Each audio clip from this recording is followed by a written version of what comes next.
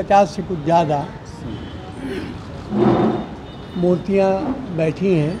विधिवत तीन तारीख को पूजन होगा। चार तारीख को यहाँ सामूहिक आरती होगी। सामूहिक विसर्जन होगा। मुख्यमंत्री जी को आमंत्रित किया गया है कि वो आरती करें स्वयं आके। यहाँ कुछ लोगों को सम्मानित भी करेंगे। यहाँ कुछ लोग अपने अपनी बात भी रखेंगे। सामूहिक भोज भी होगा। चित्रगुप्त भगवान ब्रह्मा के पुत्र हैं कायस्तों के पूर्वज हैं, लेकिन सभी कलम जीवियों के देवता हैं। हमारी माताएँ नाग कन्याएँ हैं। इसीलिए हम लोग नाग का पूजा बहुत करते हैं। और नाग शायद ही कभी सुना हो कि कायस्थ को डसा है कभी। कभी नहीं। क्योंकि हमारे तो मामा लोग हैं। दो बजे से शोभा यात्रा प्रारंभ होगी। पाँच बजे तक यहाँ मूर्तियाँ आ जाएँगी। उसके बाद मुख्यमंत्री जी उसकी सामूहिक आरती करेंगे। फिर एक एक करके मूर्ति का विसर्जन सामने। हर वर्ष की भांति।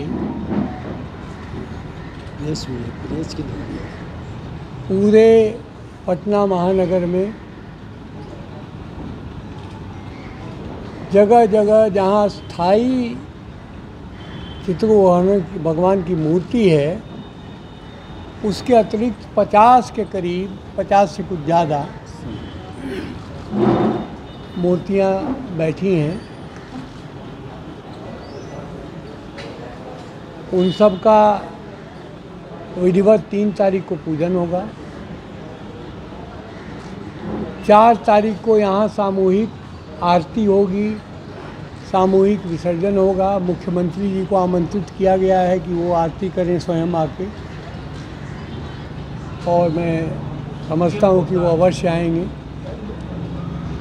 अभी लिखित कंफर्मेशन तो नहीं आया है, लेकिन उनके कार्यालय से कहा गया है कि नहीं, वो आपके किसी कार्यक्रम में जाएँगे, चाहे हम तीन को आवें या चार को आवें हमने कहा कि नहीं, अब तो चार का कार्यक्रम बड़ा हो गया है, क्योंकि पूरे शहर से लोग आते हैं। तो चार को ही आए तीन को वैसे भी उनको कई जगह जाना पड़ सकता है। तो चार को यहाँ आए और उन्हीं के हाथों हम सामूहिक आरती यहाँ करवाएँ। यहाँ कुछ लोगों को सम्मानित भी करेंगे, यहाँ कुछ लोग अपने अपनी बात भी रखेंगे, सामूहिक भोज भी होगा। एक खुशी का माहौल रहेगा। और प्रशासन ने इस बार बहुत ही सहयोग करके और कृपा करके मंदिर का चाहदवारी का भी निर्माण करवा दिया है और सामने घाट भी तैयार करवा रहे हैं ताकि विसर्जन हम कर सकें, क्योंकि हम अंदर करते थे विसर्जन, लेकिन इतनी ज़्यादा मूर्तियों का विसर्जन ठीक से हम कर नहीं पाते थे। तो उसको लोगों ने देखा कि हम बढ़ाते चले जा रहे हैं, मूर्तियाँ ज़्यादा बैठ रही हैं तो उन्होंने इस बात पे ध्यान दिया और ऐसा किया है। उसके लिए हम धन्यवाद करते हैं उनका।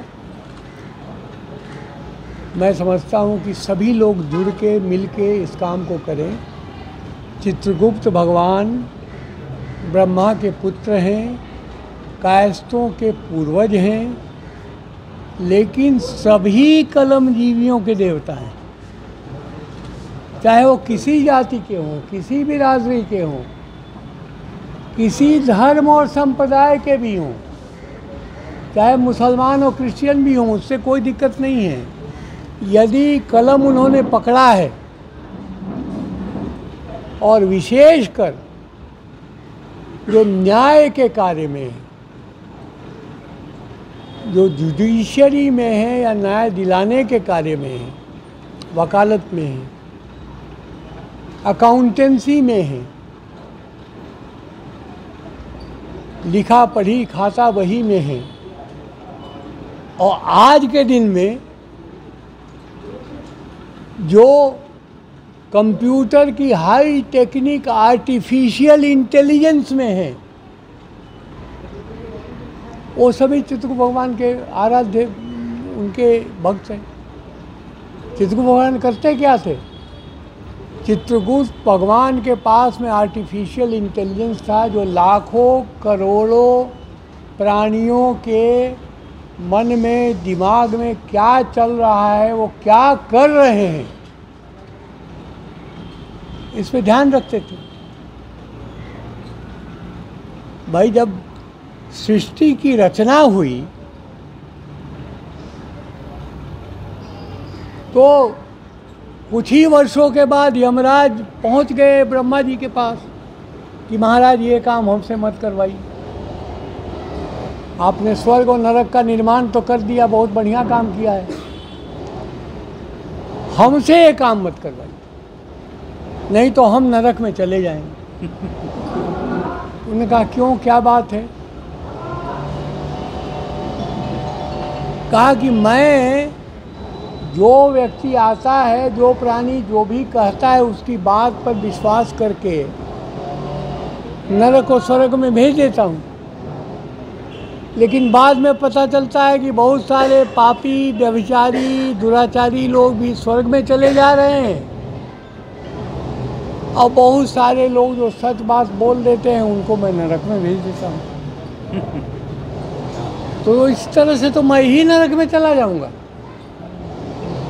तो ब्रह्मा जी ने कहा है बात तुम्हारी सही है, लेकिन इसके लिए हमको किसी का ऐसा निर्माण करना पड़ेगा जो ये काम कर सके।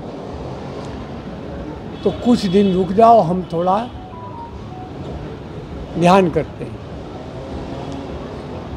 तो ध्यान उनका चला ग्यारह सौ वर्ष। दस वर्ष ग्यारह हज़ार वर्ष। दस वर्ष सहस्त्राणी, दस वर्ष शतानी च। यानी दस सहस्त्र वर्ष, यानी दस हज़ार वर्ष, दस वर्ष शतानी च, यानी दस सौ वर्ष।